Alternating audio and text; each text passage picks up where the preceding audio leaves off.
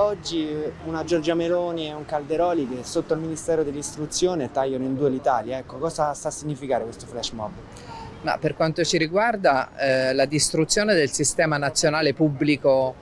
di istruzione appunto, cioè questo vuol dire non più la scuola pubblica che abbiamo conosciuto, ma una scuola con delle differenze e i ragazzi e le ragazze sono qui di fronte al Ministero dell'Istruzione perché c'è una responsabilità anche del Ministro.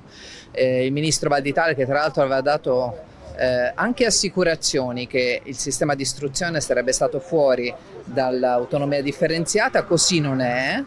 Eh, si rende responsabile per quanto ci riguarda se questo progetto andasse avanti di un gravissimo vulnus a uno dei principali diritti costituzionali di questo paese, il diritto all'istruzione. Noi siamo in piazza il 7 anche per questo. Valditara deve leggere la Costituzione italiana, prima la deve cambiare e poi forse può fare quello che è nel suo intento di fare. Nella Costituzione italiana è lo Stato che garantisce le scuole aperte a tutti e a tutti in ogni ordine e grado e si parla di scuola pubblica, non di scuola privata. Credo che le dichiarazioni che ha fatto oggi, che ha reso oggi in un'intervista, ma anche quest'ultima, siano assolutamente in contrasto con quelle che, invece, le, quelle che sono le necessità del Paese, cioè dare risposte alle disuguaglianze e dare opportunità per tutti e per tutte, non soltanto per una parte. Ecco, il flash mob di oggi ci prepara alla manifestazione del 7 ottobre eh, una manifestazione dove si porterà avanti proprio la tutela della Costituzione.